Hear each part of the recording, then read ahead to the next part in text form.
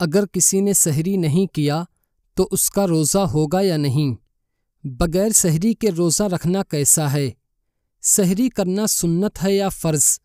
तो इन तमाम बातों को जानने के लिए आप हमारी इस वीडियो को आखिर तक ज़रूर देखें। असलकम वरहमतुल्लाहि वबरकातुहू। मैं मोहम्मद मुस्लिम रज़ा हशमती, आप देख रहे हैं शिफा नेटवर्क। नाजरीन हज़रत अबू सईद खुदरी रदी अल्लाह तु रिवायत करते हैं कि अल्लाह के प्यारे रसूल सल्लल्लाहु अलैहि वसल्लम इरशाद फरमाते हैं कि सहरी कुल की कुल बरकत है, उसे मत छोड़ो, अगरचे एक घूंट पानी ही पी लो, क्योंकि सहरी खाने वालों पर अल्लाह और उसके फरिश्ते दरूद भेजते हैं। एक दूसरी हदीस पाक में है कि हुजूर सरवर दो आलम सल्लल्लाहु ताला अलैहि वसल्लम इरशाद फरमाते हैं कि तीन चीज़ों को अल्लाह ताला पसंद फरमाता है। नंबर एक, इफ्तार में जल्दी करने को। नंबर दो, सहरी में लेट करने को। नंबर तीन, नमाज़ में हाथ पे हाथ रखने को। तो नाजरीन, इन दोनों हदीस पाक से सहरी करने की फजीलत मालूम होती है।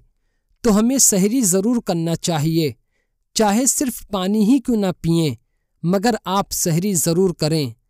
रहा ये सवाल कि अगर किसी ने सहरी ही नहीं किया तो उसका रोज़ा होगा या नहीं? या बगैर सहरी के रोज़ा रखना कैसा है?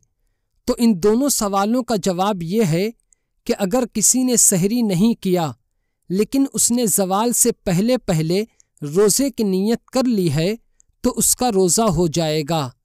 नाजरीन, जवाल का वक्त हर शहर में अलग अलग होता है। जवाल का वक्त दिन में 11 बजे के बाद ही शुरू होता है। मिसाल के तौर पर, आपने रात में सोने से पहले ये नीयत कर ली कि कल मैं रमज़ान शरीफ का रोज़ा रखूँगा और आपने सहरी नहीं की तो आपका रोज़ा हो जाएगा।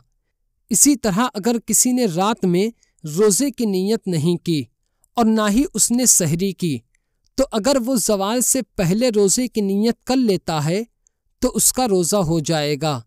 मतलब यह है कि बगैर सहरी किए भी रोज़ा हो सकता है।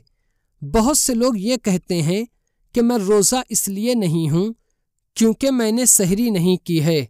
यह गलत है। याद रखें कि सहरी करना हुजूर सल्लल्लाहु अलैहि वसल्लम की मुबारक सुन्नत है और रोज़ा रखना फ़र्ज़ है। तो अगर किसी वजह से सुन्नत छूट जाए तो क्या आप फ़र्ज़ भी छोड़ देंगे? हरगिज नहीं। नाजरीन सहरी में अगर कोई एक खजूर खाकर पानी पी ले तो भी उसकी सहरी हो गई। तो आप सहरी करें या ना करें, आपको रोज़ा रखना फ़र्ज़ है।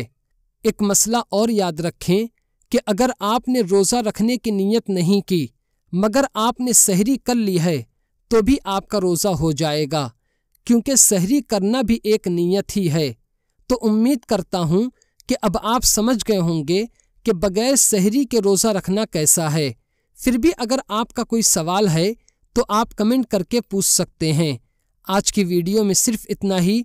वीडियो को ज़रूर लाइक करें, अपने दोस्तों के साथ शेयर करें और हमारा चैनल शिफा नेटवर्क ज़रूर सब्सक्राइब करें। असलकुम